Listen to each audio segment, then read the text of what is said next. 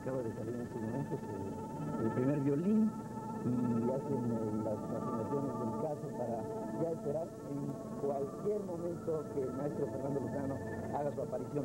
Volviendo al tema de Francisco Araiza, Maite, porque a, mí me encanta hablar de Francisco porque es un hombre que es el ejemplo del tesón, del estudio. Él, él, él dijo, bueno, si mi voz es el instrumento, la voy a cultivar y voy a estudiar para ella todos los días de mi vida hasta que mi voz me dé.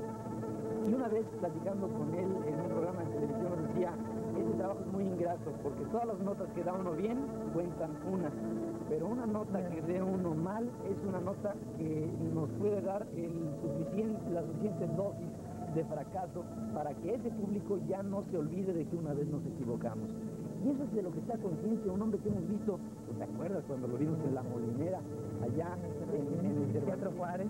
Oye, pero qué barbaridad, es que es un portento de memoria, es un portento de, la integración que tenía con, con Game, ¿te acuerdas? maravilla, sí. Era, que era una maravilla entre los dos, cómo se entendían. Y, y el, el, resultado de esto, pues lo vemos, pero el producto de ello es horas y horas y horas de estar constantemente sobre el piano, sobre la pauta, sobre los tonos, sobre, sobre la disciplina, que es lo que necesita cualquier ser humano para llegar a la excelsitud, a la excelsitud que ha alcanzado Francisco Araiza en todas sus presentaciones, y no, no en balde, tiene llena su agenda hasta el año 1992 que pues no cualquier... Iniciar una, una temporada, por ejemplo, en la escala de Milán, que le toca inaugurarla, eh, con el prestigio que tiene en, todo el mundo Francisco Araiza.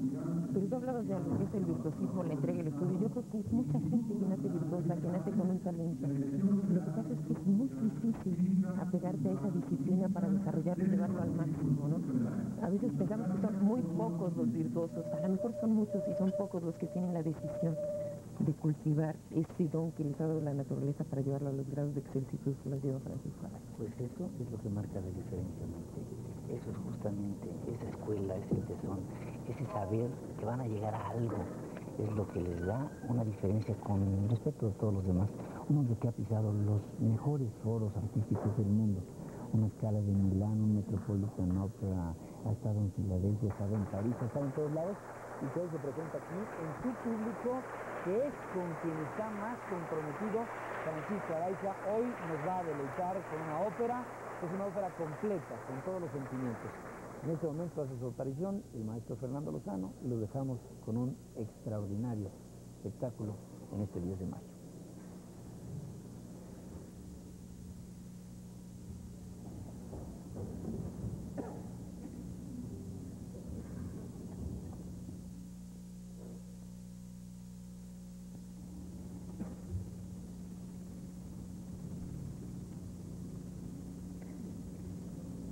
Mm-hmm.